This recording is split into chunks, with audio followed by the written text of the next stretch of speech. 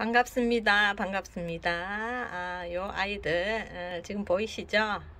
어, 오늘의 에, 베란다 추천 식물로서 어, 베란다에서 키우기 적합한 음, 다육이 이, 오늘 어, 소개시켜 드릴게요.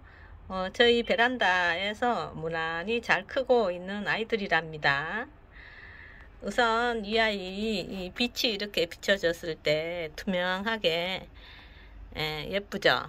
이 아이 이름은 도도손입니다. 도도손.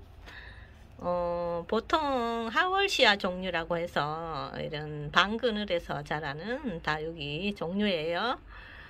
어, 얘들은 하월시아 종류 중에서도 조금 가격이 나가는 아이들이에요. 한 만원대 정도. 음, 이 정도 사이즈 되면 만원대가 좀 넘을 수도 있어요. 제가 조금 작은 아이 들여서 키워온 아이라. 그리고 여기 옆에 또 이렇게 자구를 달았네요. 또 자구 이렇게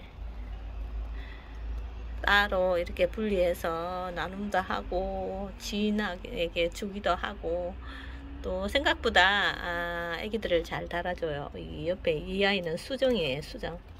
수정도 도도성과 비슷하게 예, 음, 햇빛 비치면 참 맑고 투명하고 예뻐요 옆에 또 자구를 어, 달아주고 있네요. 저런 자구 어, 떼서 우리 친구 심어줬더니 아주 잘 자란다고 어, 키우는 재미가 아주 쏠쏠하답니다. 이쁘게 잘 커요. 또 작은 분에 심어줘도 이봐요. 하엽이 질려나 봅니다. 하엽 때는 자리 별로 표시도 안 나네요. 이게 베란다 방그늘에서 아주 어, 아주 좋아요. 이렇게 자꾸 키워서 잘 크고 있답니다.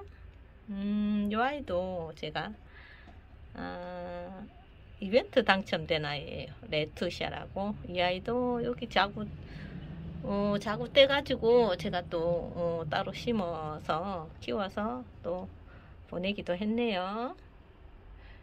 이 아이는 만상이라는 아이 만상? 조금 각이 진 것 같죠? 틀리죠? 이런 옆에 이런 그린 얘는 옥선 종류인데요. 어, 얘네들도 어, 베란다에서 아주 잘 커요. 지금 속에 속에서 투명한 입장이 나오고 있습니다. 얘랑 얘도 속에서 지금 굉장히 투명한 입장이 나오고 있거든요. 근데 조금 다른 것 같아요 이 만상이라는 아이와 아, 속에 예, 보이죠? 입장새로 나오는 거. 얘는 끝에가 이렇게 깎아 놓은 것처럼 약간 그러고 옥선은 약간 입장이 좀 얄쌍하면서 조금 다르더라고요. 어, 얘도 그린 옥선이에요 그린 옥선.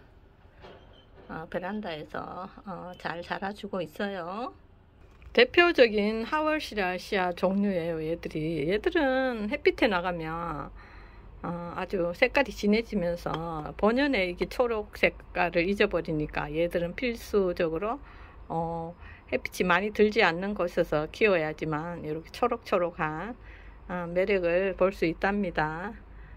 아, 얘도 어, 색깔이 변할까봐 제가 고개를 돌려 놨던 아이예요. 어, 햇빛을 많이 보면 음, 이 초록의 매력을 잃어버리고 이렇게 옆에 애처럼 이렇게 색깔이 진해진답니다. 겨울에 초록초록하니 보기 좋죠. 이렇게요. 얘도 하나씩 떼서 심어 놓은 아이인데 자리 잘 잡고 음, 이렇게 꽃처럼 활짝 펴주고 있어요. 아 얘도 물을 싫어하지 않거든요. 아 얘도 물을 좋아하는 편에 속하기 때문에 제가 여기 구멍이 없어요. 이, 이 화분에는. 어, 화분 용도가 아닌데 제가 그냥 얘를 여기다 심어서 키우고 있어요. 어, 그래도 건강하게 잘 자라고 있답니다. 통통하니 이쁘죠. 햇빛 비춰주면 투명하게 예쁘답니다. 이 아이도 어, 아주 반그늘에서 자라야지만 아니면 아 짙은 색깔이 나타나서 미워요. 아, 얘도 5층 탑이라고 하는데요. 얘도 어, 이게 다이소 보이죠? 다이소 이렇게 요- 요런 모양 많이 보셨을 거예요. 어, 구멍이 없어요. 5층 탑이라고 이 분에서 화분 아닌 분에서 이렇게 풍성하게 잘 자라주고 있습니다. 우리 집에 애들이 좀 고생을 합니다. 저 때문에. 방그늘에서 키우기 딱 좋은 아이들이에요. 아, 이 아이도 쿠페리금이라고 해요. 이 아이도 햇빛을 보니까 색감이 진해져 버려서 제가 저 안쪽으로 밀어 넣어서 어, 숨겨놨답니다. 이 화분들 뒤에. 이런 아이들이 베란다에서 아주 키우기가 좋죠. 햇빛을 본 쪽은 앞에처럼 약간 갈색으로 이렇게 변해요. 근데 안, 햇볕이 안 간 쪽은 이렇게 에, 연두로 어, 자라고 있어요. 원래 이렇게 햇빛 없는 곳에서 자라는 아이라 아, 아, 원래의 모습은 음, 얘라고 봐줘야 되겠죠. 쿠페리 금이에요. 저렴하고 아주 키우는 재미가 있어요. 쑥쑥 늘어나거든요. 근데 제가 이 작은 분에 꼭 가둬서 키워가지고 애들이 좀 고생이랍니다. 아, 얘도 제가 한 3년 이상 키운 것 같아요. 아주 작, 작은 아이. 3년 훨씬 넘은 것 같아요. 아주 조그만 아이 키워보라고, 어, 뭐든 키워보는 경험이 중요하다고 하시면서 이렇게 자구를 떼주셨어요. 매니아 분이. 근데 지금 여기, 어, 작은 화분이지만 꽉 차서 꽃대를 이렇게 이 어디까지 올렸답니다. 꽃대가 한 20cm나 되는 것 같아요. 이 하여, 하여, 하월 시아류 꽃들이 다 비슷하게 생겨서 아, 이, 이렇게 생겼답니다. 꽃대를 잔뜩 올리고 이렇게 꽃은 어, 별 볼품이 없답니다. 꽃대 잘라줘야 되겠어요. 얘처럼 이렇게 꽃이 이쁘면 아, 이렇게 꽃을 봐야죠. 근데 꽃이 대부분 안 이뻐요. 음, 여기 선인장 꽃들은 참 예쁘죠.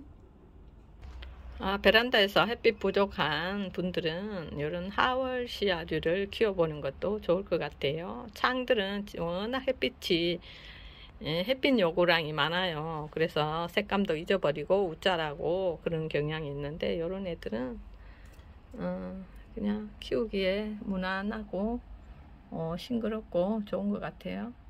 이 자보금도 방근을 해서 아주 좋아요. 햇빛으로 나가면 시커멓게 변해요. 그래서 이렇게 베란다에서도 안쪽에서 이렇게 에, 크는데 에, 금줄이 많죠. 어쩌다 보니 자보금이 또 여기 있는데요. 어, 얘는 음, 아주 어, 새끼도 잘 치고 씩씩한 아이예요. 그래서 가격도 아주 저렴하죠.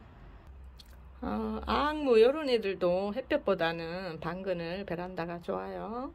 얼마 전에 제가 수영 잡으면서 잘라서 꽂아놓은 아이들 자리 뿌리 내리고 있나 봅니다.